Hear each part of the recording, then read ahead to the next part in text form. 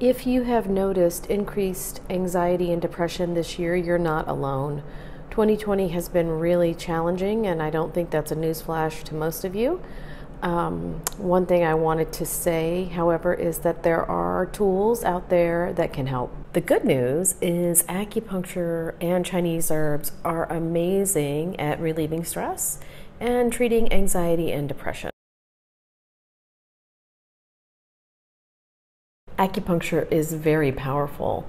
It works immediately to calm the spirit and to alleviate symptoms associated with anxiety. Hi, it's Monique Wheeler, licensed acupuncturist with Midheaven Acupuncture here in Chicago. Acupuncture can help reset your mood. It can lift your spirits. It can quell anxiety. I take your individual needs into consideration.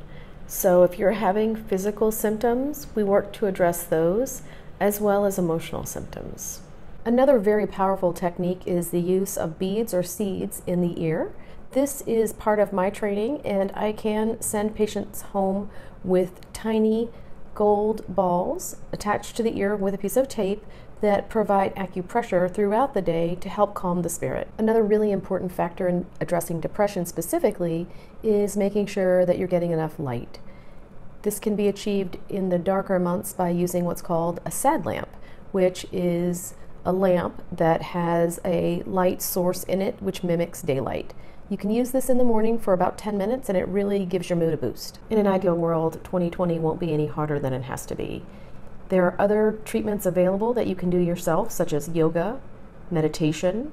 There are um, online videos that can promote relaxation, such as ASMR. And I highly encourage folks to do some searching for tools out there because they do exist. However, I'm always happy to help.